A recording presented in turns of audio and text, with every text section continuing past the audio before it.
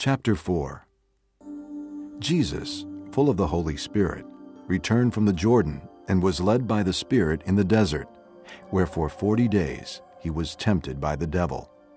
He ate nothing during those days, and at the end of them he was hungry. The devil said to him, If you are the Son of God, tell this stone to become bread. Jesus answered, It is written, Man does not live on bread alone. The devil led him up to a high place and showed him in an instant all the kingdoms of the world. And he said to him, I will give you all their authority and splendor. For it has been given to me, and I can give it to anyone I want to. So if you worship me, it will all be yours. Jesus answered, It is written, Worship the Lord your God and serve him only. The devil led him to Jerusalem and had him stand on the highest point of the temple. If you are the Son of God, He said, throw yourself down from here, for it is written, He will command His angels concerning you to guard you carefully. They will lift you up in their hands, so that you will not strike your foot against a stone. Jesus answered, It says, Do not put the Lord your God to the test. When the devil had finished all this tempting, he left him until an opportune time. Jesus returned to Galilee in the power of the Spirit, and news about him spread through the whole countryside. He taught in their synagogues, and everyone praised him. He went to Nazareth, where he had been brought up, and on the Sabbath day he went into the synagogue, as was his custom, and he stood up to read. The scroll of the prophet Isaiah was handed to him. Unrolling it, he found the place where it is written, The Spirit of the Lord is on me, because he has anointed me to preach good news to the poor. He has sent me to proclaim freedom for the prisoners and recovery of sight for the blind, to release the oppressed, to proclaim the year of the Lord's favor. Then he rolled up the scroll, gave it back to the attendant, and sat down. The eyes of everyone in the synagogue were fastened on him, and he began by saying to them, Today this scripture is fulfilled in your hearing.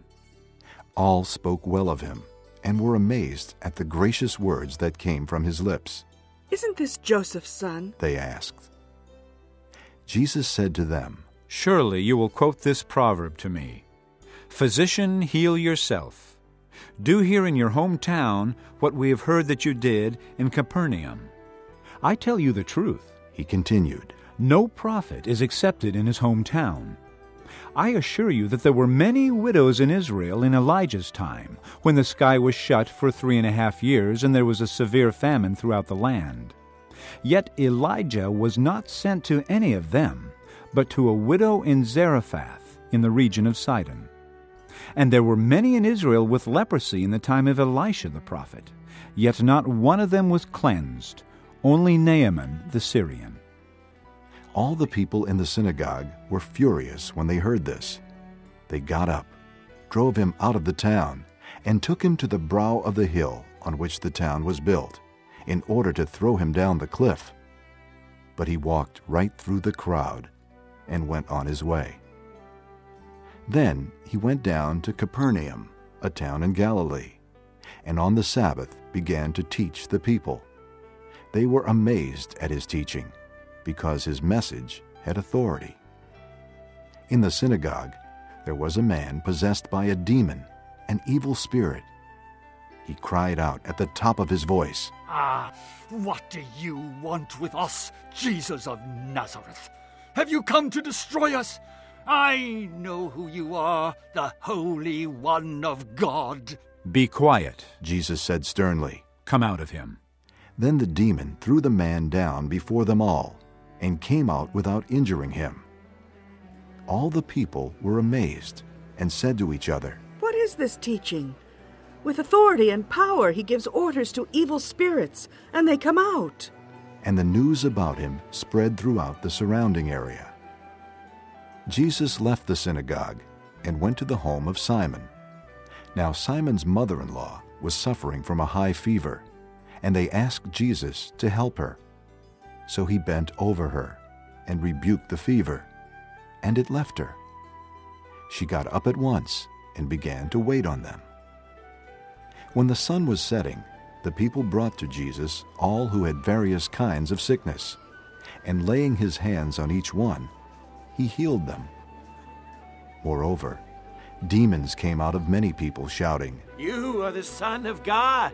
But he rebuked them and would not allow them to speak, because they knew he was the Christ. At daybreak, Jesus went out to a solitary place. The people were looking for him, and when they came to where he was, they tried to keep him from leaving them. But he said, I must preach the good news of the kingdom of God to the other towns also, because that is why I was sent. And he kept on preaching in the synagogues of Judea.